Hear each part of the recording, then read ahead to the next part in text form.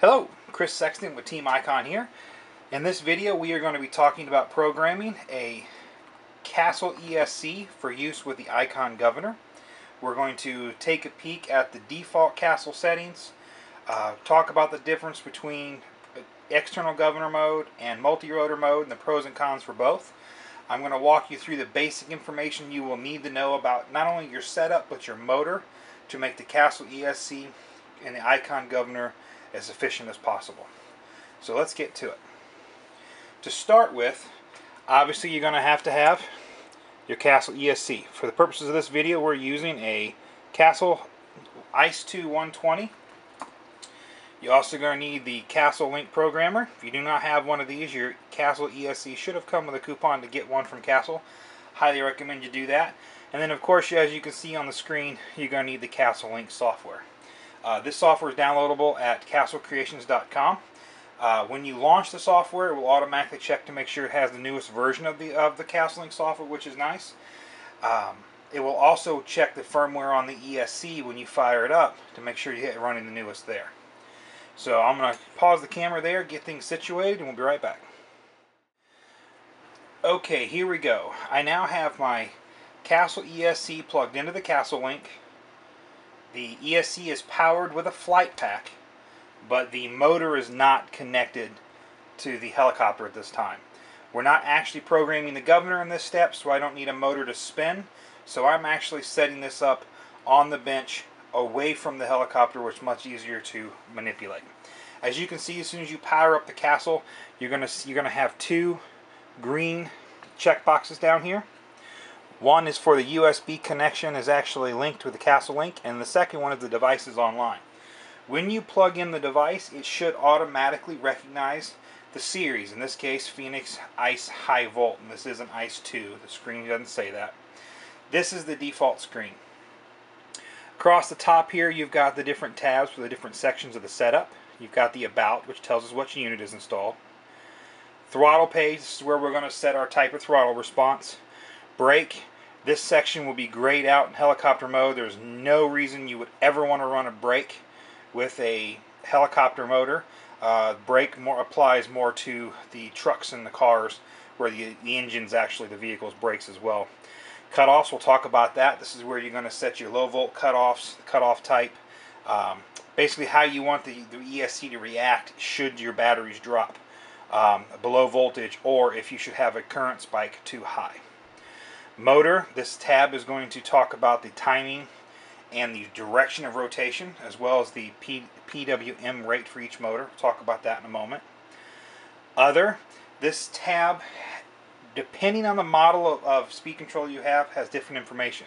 With the ICE 2, basically this allows you to choose to turn the on-off, power on, beep on or off. On an Edge ESC, over here you've got some options for what to do with the new auxiliary wire. You can set that for RPM out, you can set that for external gain adjustment, all kinds of fun things. But since this is an ICE 2, we don't have that functionality here. Logging, this is a really cool feature of the Castle's, probably hands down my favorite feature of the Castle. The Castle actually has a built-in logging and will actually keep track of your battery voltage, battery ripple on the main pack, battery current, controller temperature measured off the internal board, controller input throttle, meaning what throttle input it's seeing, it's being requested, controller motor power output, how much of the available power it's actually putting out, and the actual RPM of the motor. Lots of great information. Um, the logging durations and sample frequencies, basically, the higher the sample frequency, the shorter the record time it has. As you can see at 1 hertz, which is one sample per second, it can actually keep a little over an hour of information on there. At two samples per second, you cut down to about half. Five samples per second, you're at 13 minutes, and at 10 samples per second, you're at six, little under seven minutes. I actually leave mine normally right at two samples per second. I think that's plenty of information, and I'm in my speed controllers pretty often checking the logs, so I don't have a trouble running out of 34 minutes of data. One note on the logger while we're here, it is a good idea to download your log data and clear your log data often. Um, the buffer on there only holds so much, and if it runs out, and you have a crash and you go to pull your log, you may find that you ran out of buffer space and don't have the data from your most recent flight. So uh, I try to clear my logs fairly often. Software, this page is actually telling us what versions of the firmware are out. As you can see, this speed controller is running version 3.27. There are several new versions out. Uh, 4.12 beta is the newest version, and that is the version we're going to run. I have not updated this unit yet because I wanted you to see how it's done. I know this isn't really relative to the iKON, but this is the kind of stuff you want to start with. We're going to select 4.12 and select the Update Firmware button. As you can see, it's going to run through real quick. It's a two-part process. Starts by wiping the PROM, and then it's going to write the new ROM.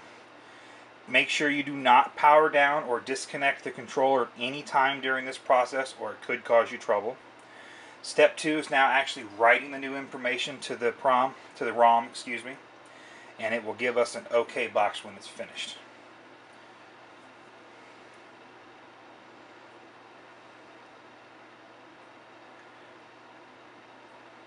Now that it is done, the speed controller software resets.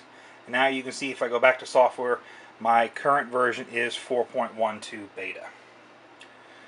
If for some reason the, you upgrade a firmware on a Castle and you're having troubles, it is very easy to step back. You can simply select anything on this list and roll back. So if any of these changes for the 4.12 beta cause you trouble, then you can always just roll it right back to the previous version and away you go.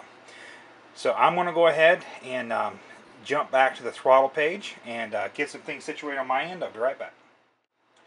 Okay guys, as you can see, I have resituated things onto the throttle page. I'm going to try to adjust the zoom here so you can see everything.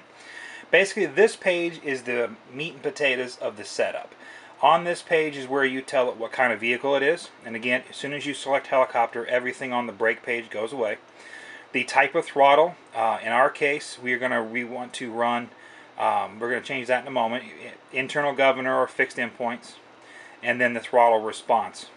Um, this information, depending upon what model you choose, some of these options will become available and some won't. For the case of the iKON, when you're running the iKON governor, you actually want to tell it uh, one of two things. Um, external governor is the obvious choice. In the external governor mode, the speed controller does have a soft start, so when you initially flip off throttle hold, you have a slow ramp up. Uh, in external governor mode, though, once it's past the, the ramp up speed, it responds to the speed, the iKON governor's inputs quickly, and that the speed of that change is set here with the speed with the speed change rate. The Positive to govern, external governor mode is you do not have to rely on the iKON for bailout. You do not have to rely on the iKON for soft start. You can still run, if configured properly, the speed controller auto rotation bailout. Um, this is particularly helpful. Let's say, since the iKON gives you three flight modes, let's say you want to have a flight mode that does not run governor. You just want to have the ability to spool up, you want to adjust your throttle curves, you want to play with low head speeds, whatever you want to do. When the governor's not engaged, the soft start in the iKON doesn't work. So if you were to have a flight mode with no governor and try to spool up without a soft start in the speed controller, you're just going to spin on the ground and potentially cause some problems. So the external gov mode does give you that soft start. Um, and again, the speed rate of the soft start on the castle is adjusted right here on initial spool up rate. The cons to this, if you are going to use the iKON bailout system, which I strongly recommend you simplify things, I don't personally like having two different devices fighting over control. If you're trying to use the iKON bailout, you cannot use external governor. There's no way to turn off the soft start with external governor mode. And every time, even though the iKON sees bailout request, it idles the speed controller. As soon as the castle sees that zero throttle, it assumes you've landed. And doesn't matter how quickly the iKON requests the head speed to come back, it's going to spool up slowly. So it completely negates the, the bailout. To make bailout work with iKON, I strongly suggest you go to multi-rotor. Now, in multi-rotor mode, as you can see, everything's grayed out. There's no soft start, there's no, there's no built-in bailout, there's no adjustment for change rate. It is a true one-to-one in, one-to-one out. When the speed controller asks for 30%, it gets 30% on the spot. If the speed controller asks for 100%, it gets 100% on the spot. It's a really fast refresh rate. Pros for that. Gives the iKON total control of the, of the RPM government governing. Excuse me. The iKON soft starts in, in play. The iKON bailout can work properly. The iKON response to head speed changes can work properly. It's just a very simplistic, it negates the speed controller's ability to do any of that. Cons. We just talked about that normal mode where you might want to play without the governor. If you try to spool up in that normal no governor, you better have a linear curve in your throttle curve so you can bring the RPMs up slowly and fake the soft start yourself. Otherwise, you're just going to snap to 100% or snap to 60%, spin on the deck. It could cause tip overs, it could cause damage, destroy your tail fin, all kinds of fun stuff. So that is a con to multi-rotor. If you're going to run multi-rotor, I do not recommend having a non-gov spool-up bank in your iKON. But again, the pros, in my opinion, dramatically outweigh the cons. All of my iKONs are now set up in multi-rotor. Um, you can use linear curves. The iKON does not actually engage the governor itself until you're over um, 50% of the throttle request. So you can have that 0 to 25 slow ramp up if you want. Um, but if the iKON makes a request for throttle, speed controller answers. There's no question. That also makes it very easy to tune. When you're trying to figure out why the head speed change isn't right, why the bailout isn't fast enough, why it spools up so fast, if you only have one appliance to worry about all those features, it's just much easier. You can focus on programming the iKON and not worry about the speed controller. So this is where we're going to leave it. Multi-rotor fixed endpoint mode. Now with the Castle ESCs, it's very important, and this might be hard for you to see. After you make any changes, you have to press the update button. It's not really saved until you press update. Now, we have successfully told the speed controller we want to do multi-rotor mode with fixed endpoints. So we are now giving the iKON complete control of this unit. But there's still some information we have to tell the speed controller. First and foremost, cutoffs. A lot of this is subjective. I'm going to tell you where I put it. First and foremost, voltage cutoff, I always put the soft. Soft cutoff is going to, if the battery sags, is going to lower the RPM of the head basically effectively cuts the available voltage so that you you'll still be able to fly, but you'll know something's up because it won't have the power it's supposed to. If you set this to hard cutoff, it's actually going to shut down the speed controller. You'll lose head speed like you hit throttle hold. I don't like that. Pulsing, pulsing's probably okay on, on an airplane, but in a helicopter that scares me because the head speed could pulse. You could strip torque tube gears. You could be doing a pyro flip and it pulse and go out of control. Um, it's not real handy. And then RPM reduction, this slowly brings the RPMs to zero. It's kind of like the hard cutoff, otherwise, other than it's just not an instant shut off, it will slowly bring the RPMs down to zero. I like soft. Current limiting. This is where you tell the speed controller how sensitive to amp spikes you want to be. Now this is a 120 HV going to be run on a 6 cell system.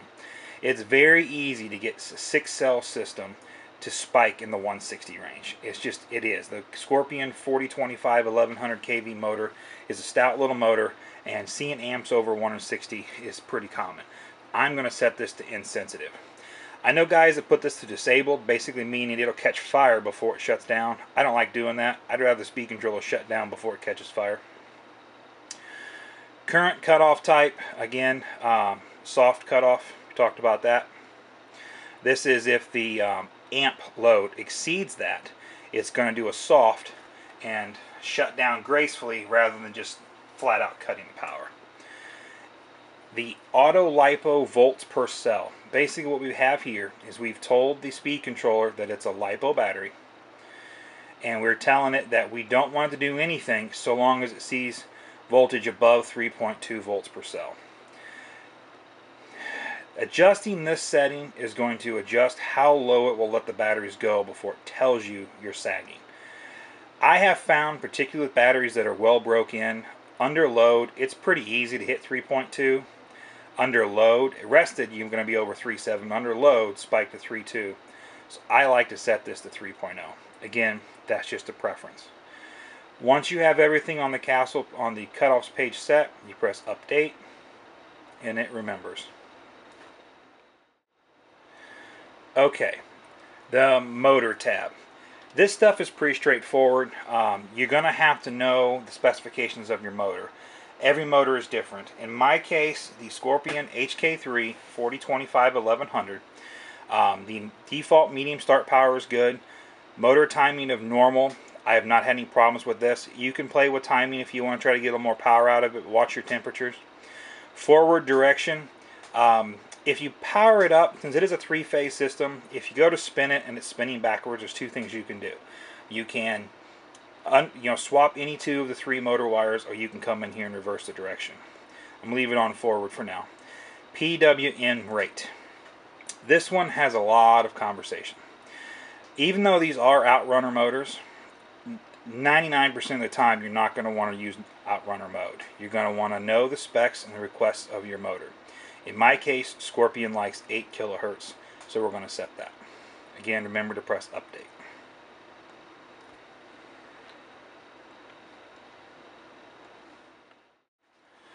Alright guys, there you go. We have now successfully programmed our Castle Ice 2 120 for use with the 6-cell 4025 11, uh, 1100 kV motor on the iKON Governor.